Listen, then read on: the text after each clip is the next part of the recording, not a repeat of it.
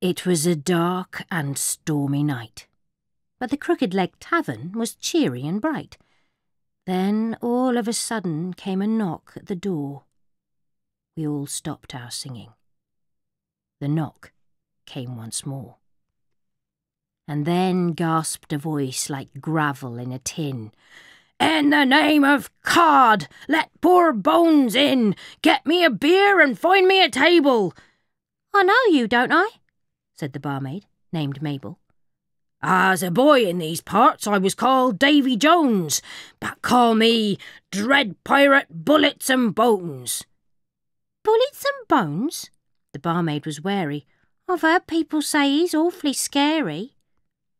Not I, said the pirate. I give you my word.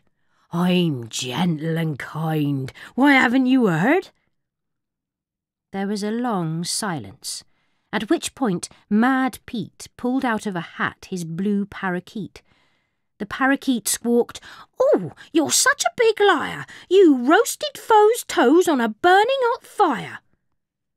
I didn't. I wouldn't, whatever you're told. I just warmed their tootsies because they were cold. I'm kind to babies and elderly folk.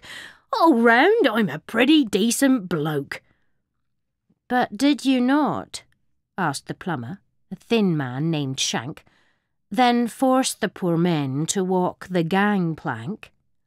Oh, yes, and I heard, said Grubby Nose Parks, that the water was full of ravenous sharks. At this, Mr. Bones shook his head sadly. I would never, I hope, treat such gentle folk badly. After the fire, they got terribly hot. We need a swim, Mr. Bones, like it or not. Before I could stop them, they leapt into the sea.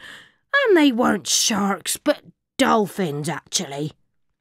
But then didn't I hear, said Septimus Pyle, you made them swim all the way to Craggy Back Isle?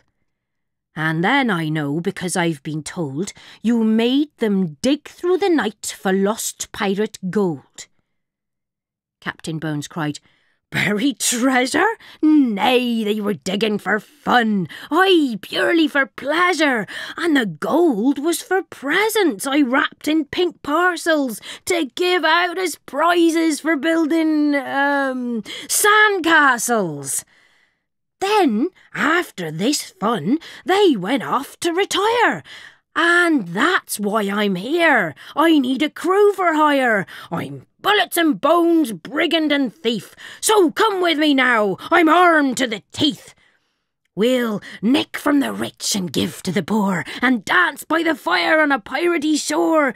We'll steal golden nuggets, diamonds, and piles to make us all rich and give to the Goyles. Then Mabel piped up, You've got to be joking. I'm not going out there. It's dark and my hair will get soaking. Outside, the wind howled. It couldn't be wetter. I agree, said old Bones. Let's stay till it's better. And at that, we all gave a piratey cheer. So Bullets and Bones bought us all beer. It was a dark and stormy night but the Crooked Leg Tavern remained cheery and bright. The end.